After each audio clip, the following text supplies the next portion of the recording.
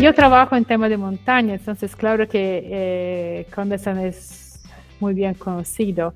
Eh, yo creo que entre los investigadores que se ocupan de montaña, eh, claro que el trabajo de Condesan lo conocen muy bien y, y a nivel de, de otras organizaciones regionales como la Convención de los Alpes, por ejemplo, de los Cárpatos, yo creo que eh, han tenido buenos contactos. Por ejemplo, me acuerdo eh, cuando se decidió armar una iniciativa andina para los Andes, nosotros hemos, eh, invitamos a una reunión el representante de la Convención de los Alpes. En esa reunión estaba también el Condesan, entonces son todos contactos que se han desarrollado durante lo, esos 30 años, sí.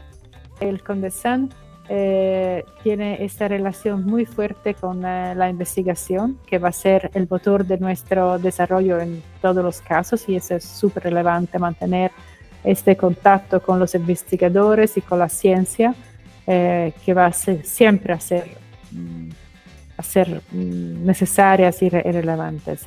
Pero también un buen respaldo, una buena relación con los sistemas políticos, porque al final hay un papel para la sociedad civil, para los ONGs, para las organizaciones, pero también hay algunas cosas que solo los gobiernos pueden hacer. Entonces, mantener esa doble relación con, con las ONGs y al mismo tiempo con los gobiernos, yo creo que va, a ser siempre necesario. Y, también darle una mirada global, como ya hacen desde siempre, eh, es decir, una asociación regional que se vincula con el eh, nivel global, con asociaciones globales y, trabaja en redes, red con las otras organizaciones regionales y también con plataformas globales como la Alianza para las Montañas. Condesan ha, ha tenido y va a tener un papel muy especial para desarrollar las montañas y proteger la cultura de la montaña andina, que es una cultura extraordinaria.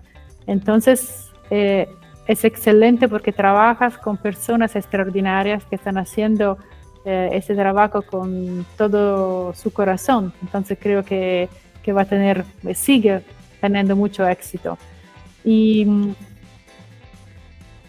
en este momento estamos, no, la, montaña están con, eh, están con el tema del cambio climático, de la inmigración, muchos, muchos desafíos. Entonces, eh, por eso, uh, de la Alianza para las Montañas, estamos muy felices de poder contar con una organización regional tan fuerte, tan exitosa y muy bien vinculada con los distintos gobiernos y también con las toda la sociedad de, los Andes.